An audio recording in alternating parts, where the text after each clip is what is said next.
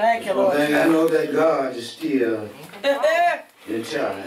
Lord. Yeah, Lord. I, I was trying to think of that song, but I sure wanted that sister mother to say God is still in charge. Oh, yeah. right. But we know that God is still in charge. Those of you that have your Bibles, go to Proverbs third chapter. Yes, he is. Fifth and sixth verse. And after you find that, then go to the fifteenth, I'm sorry, the fourteenth chapter of John. I want to thank God for a young man reading the footprints in the sand because it kind of lines up with my sermon. Sometimes we forget that when things are going rough in life, that Amen. God is still in charge. Amen. Amen. Yeah, yeah, you might feel like you're by yourself, Oh, but God. but God. Yeah. But also You talk better say that. Better say it. Thank you, sir. Amen. My God. The third chapter of Proverbs, Trust in the Lord. the fifth and sixth chapter reads, Trust in the Lord with all thine heart and lean not to thine own understanding. Yes. Verse 6 says, In all thy ways acknowledge him, and he shall direct thy path. Let's go to the 14th chapter of John. Oh, God. And it reads, Let not your heart be troubled. Yes, that's it. You believe in God, believe also in me. In my Father's house are many mansions. If it were not so, I would have told you. My Lord. I go to prepare a place for you.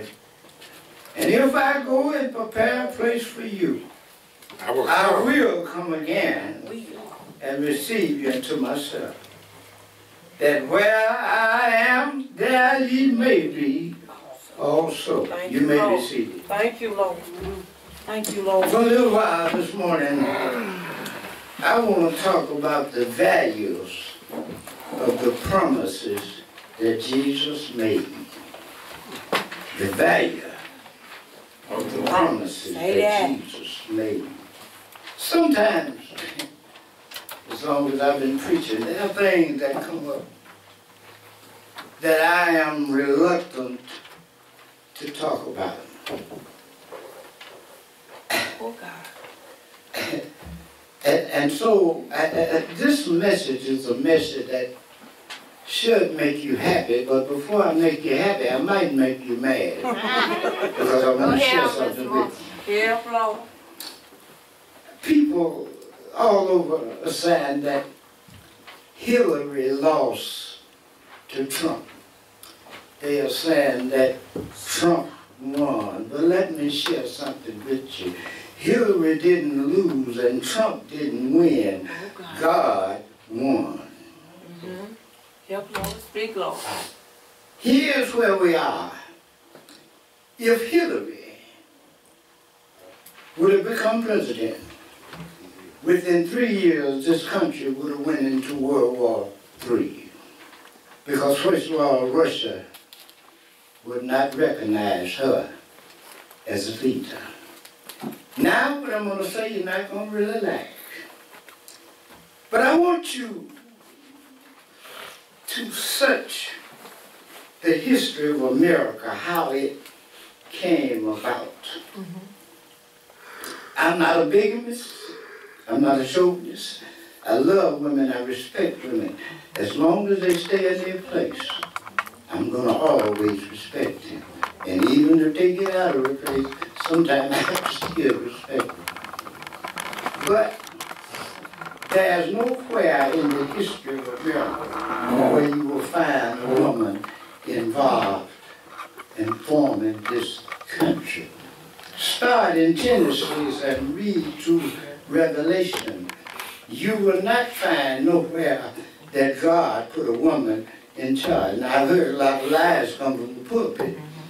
They say that Deborah, the mother of Israel, led Barak into battle. That's a lie. Let's read that way. Barak was the commander in chief of the army of Israel. Deborah said, I arose a mother in Israel through the Spirit of God. And Barak knew that she had the Spirit of God. And when he was called to take his army out, he told Deborah, if you go with me, I'll go. If you don't, I won't. She didn't lead him. She was with him to give him spiritual support that God would be with Israel. Come on, help All me. right now. All right. But nowhere, uh-huh. everywhere you, in the Bible you saw a king fall down, it was because he listened to a woman. Now, now, now, I'm not, I'm not downplaying women. Women have no place hauling logs and digging trenches and carrying 50 caliber machine guns. God didn't design it that way. You may accept it if you want to, but the Bible gonna stand true to His word. Say it now. God didn't start it that way, and God is not gonna let it end that way. All right now. Men gonna have to stand up Say that. and be counted as men. Say that. You're not gonna be a man just put on the skirt and act like some of the rest of them out there. Yeah, Preach no. your way on through life and go on in the hell. 'cause That's where you're go. Get out of the way. Step long. Help me, Lord. Uh. Ah, Mm. but the value Oh God. Oh God. of the promises that Jesus made Speak long. is still binding. We're living in a world today where lying is accepted. All right. We don't find nothing wrong with people who can't keep a promise. They just say, well, they lied to me. There- there- Ain't nothing wrong with that. Now, I must admit that sometimes we make promises that we are unable to keep because of changes in circumstances. Sometimes the weather will change our circumstances. Sickness will change things. Death in the family will change things because of circumstances. Uh, somebody repeat it. Intentions are good, but grandmama used to tell me good, the road to hell is paved with good intentions. Yeah, yeah, I, my intentions might be ever so good, but if something happens, I can't keep my promise. All right. Yeah, we we have to accept that sometimes things are beyond our control. All right now. That's. But my grandmother, and I, you know, I, oh, I have to just tell you about grandmother. She had a clause that she would put before every promise she made. She would say, if it's The, the the, Lord's will, and I, and I don't care what it was she was promising you, she would first of all let you know if it was the Lord. Well, Pastor called me the other day, I hadn't heard it in a long time. He said, Lord, you're going to be able to preach something? I said, yeah. He said, say if it's the Lord's will. Say that. And I had to laugh because I know that's what my grandmother would have told me. And so, but right here in Vicksburg, her name had value. She could go to any store in the city, grocery store, clothing store, hardware store, and get anything she wanted with no money, mm. just on her name. Jesus. Well, there is a cliche that the young folk use now. They say word is bond. well, let me help you with something. If, if you're going to use these cliches and proverbs, you should know what it means and how it came about. Well, uh, that, that cliche word is bond. It, started right after slavery was abolished when money uh, was tight and money was hard to get. If you were convicted of a simple crime and you had no money to pay your fine, uh, you had children at home to feed and uh, you had a job that you needed to go to, the judge would tell you if you didn't have the money, I'm gonna let your word be your bond. Now, now, now, now, now, if you didn't come back and continue to pay on that fine till you paid it out, they would come and get you.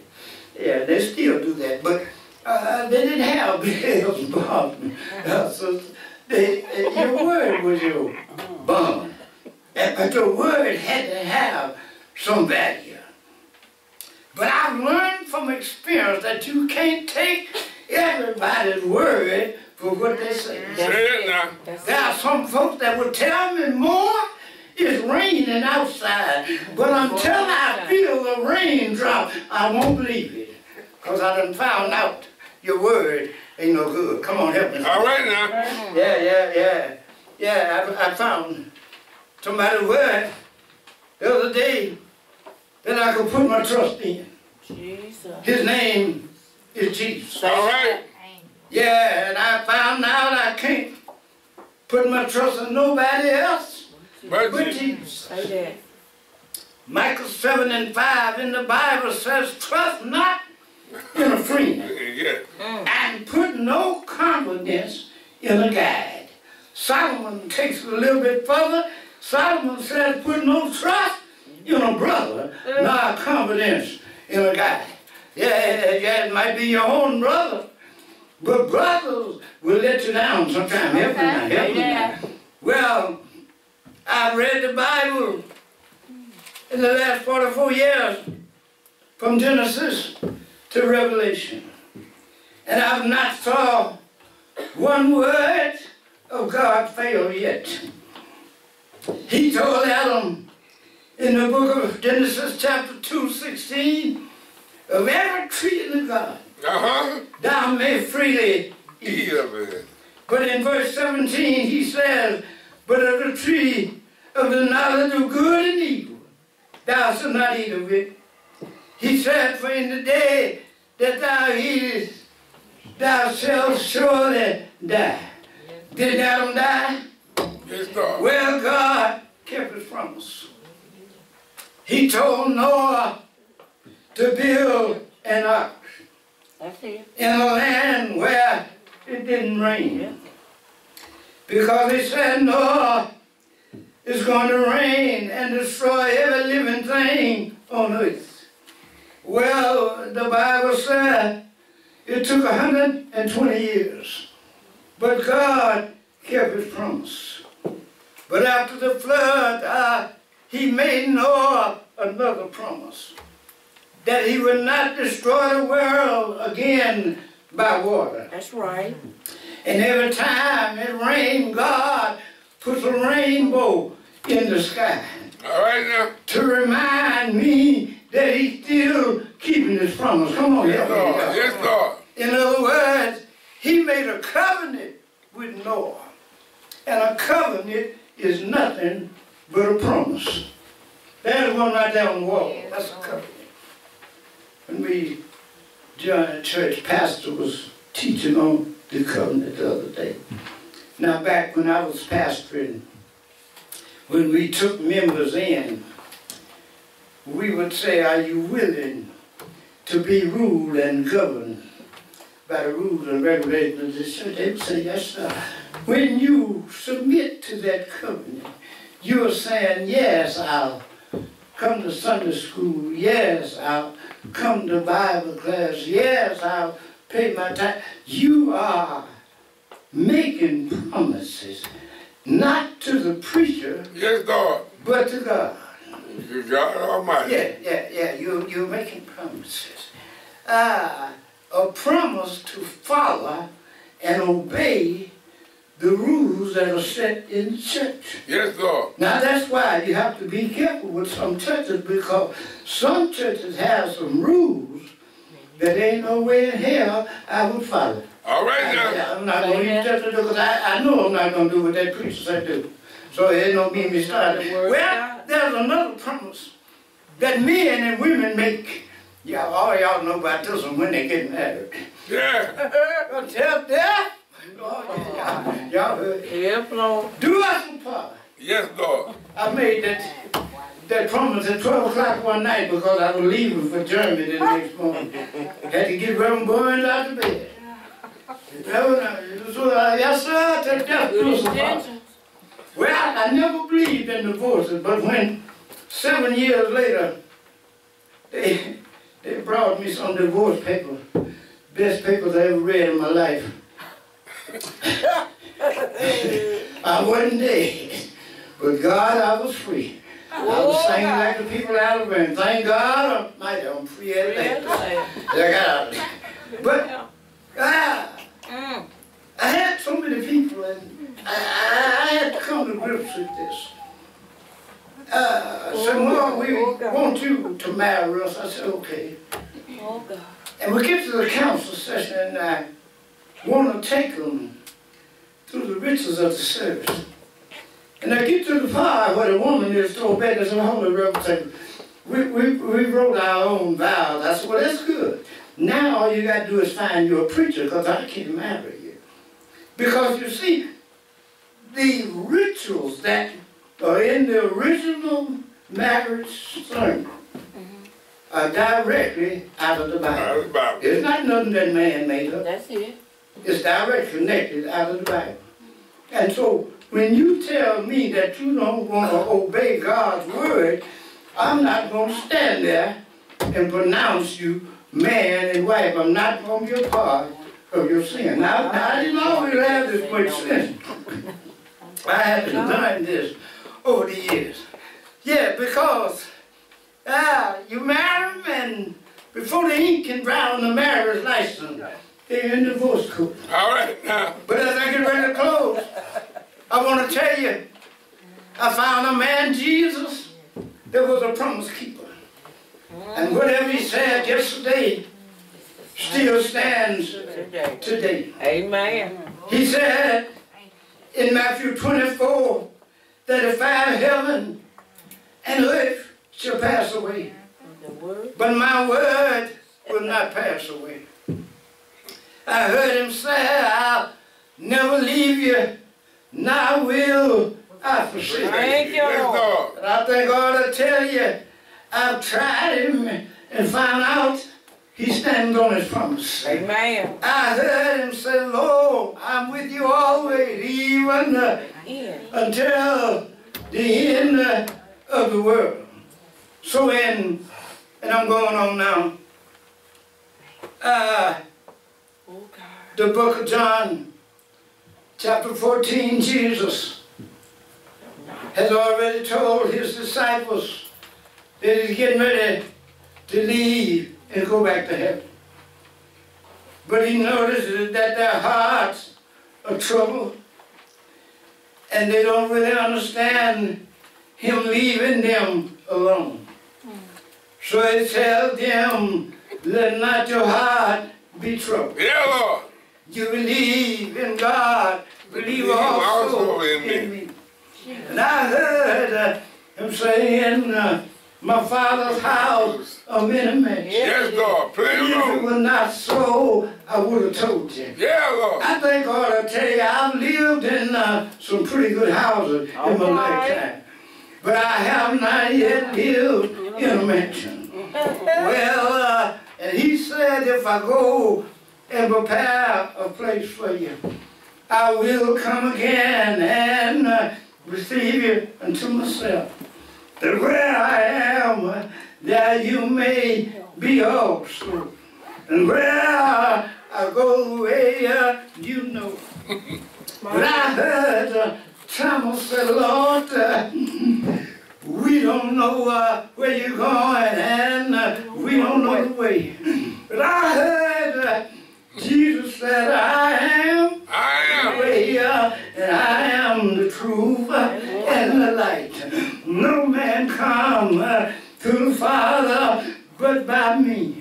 And uh, if you'd known me, uh, you would have known uh, my Father also. And I'm glad to see me. Uh, and I know uh, Jesus will uh, keep his promise. Yes, he But will. even though Jesus uh, kept all of his promises, uh, Yes, Lord. man uh, did not want to accept him. Yeah. And they decided uh, to to crucify him and take him out on Calvary. Yes, it is. One Thursday evening, uh, they arrested him uh, and took him down a Pilate's courtroom. Yes, Lord. All night long, uh, they whipped him uh, and called him everything uh, but the Son of God. And early Friday morning, uh, Early five they took him out uh, on Calvary, nailed him uh, to an old Roman cross, uh, hung him uh, between heaven and between hell. He hung there, and the Bible says from the sixth until the ninth hour it got dark. But I heard Jesus saying, the Father, Father. Forgive them, uh, they know not what they're doing. Uh, he died on Calvary. Uh, they took him down and buried him in a borrowed tomb. And all night, Friday night, he stayed in the grave. Uh, all this Saturday, he stayed in the grave. Uh, all night long, uh, Saturday, he stayed in the grave. But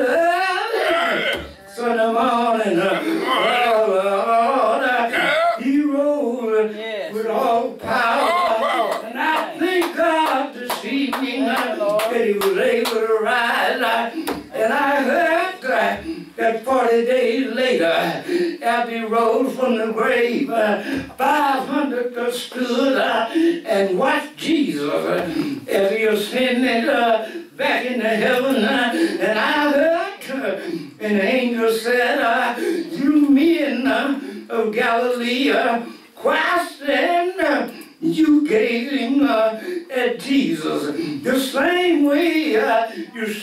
going uh, one of these days uh, he's coming back again uh, Yes, is. God all right Oh, God. evening uh, I don't know when uh, I don't know where but one of these days uh, Yes. Jesus Say is coming back Yes, he Yes, is. Yes, he he is. said he's coming back for a church Yes, he will. without a spot or wrinkle. Oh, God. And I pray to God that you begin then. Be that church Oh, that He's coming back for. God bless you. God keep you. May